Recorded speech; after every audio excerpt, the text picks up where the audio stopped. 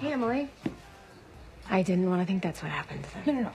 I, um, we were just trying to help Ezra. You and his ex-girlfriend, Aria? But it's not what it looks like. There's gonna be a lock on that box tomorrow. You don't have to do that. We won't You. I actually thought you cared about what I had to say. I did. I do. Life is short, Emily. Save your lies for someone who has time to hear them. Sabrina, you don't have to do that. It's,